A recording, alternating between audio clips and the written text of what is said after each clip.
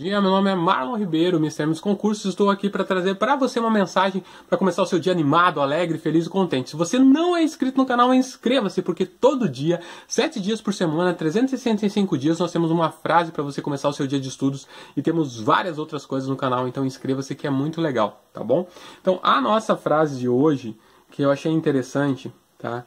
Que a gente pode levar para a vida, é o seguinte: o segredo não é correr atrás das borboletas, é cuidar do jardim para que elas venham até você. No final das contas, eh, você vai achar quem você eh, não quem você estava procurando, mas quem estava procurando por você.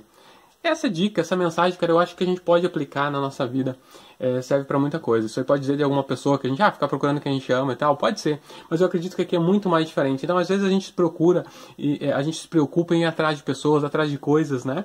E a gente esquece de cuidar do nosso jardim, de cuidar de nós. Então, acho que o, o, o segredo da vida é esse. A gente está bem com a gente, a gente está feliz, estudando para concurso, focado, estudando ali e estando feliz com a gente, que as coisas acontecem. Aquelas pessoas que gostam da gente vêm, vêm, vêm, nossa, vêm atrás da gente e, e, e, vão estar ao nosso lado. Né? E quando a gente acaba procurando pessoas, pessoas indo atrás de pessoas, a gente esquece de cuidar de nós. Então essas pessoas que a gente estava procurando, elas não vêm até nós porque elas não se interessam né, por nós, porque nós estamos em busca delas. Então eu acho que realmente isso é uma dica para a gente sempre focar uh, a questão em que a gente possa cada vez ser melhor uh, como pessoa, melhor filho, melhor pai, melhor mãe, porque a partir disso a gente se torna um jardim maravilhoso, tá? Então acho que a gente estuda para concurso, mas a gente não pode esquecer que a gente é é uma pessoa, a gente é alguém que vive num contexto e que precisa cada vez mais se tornar alguém melhor.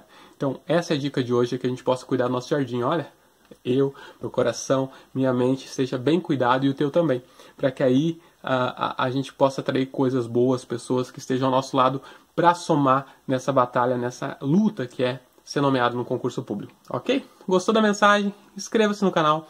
A gente está todo dia aqui com dicas, com técnicas, com notícias de concurso, com tudo que você pensa no mundo de concurso aqui no Mr. M dos concursos. Um grande abraço e Deus no controle sempre.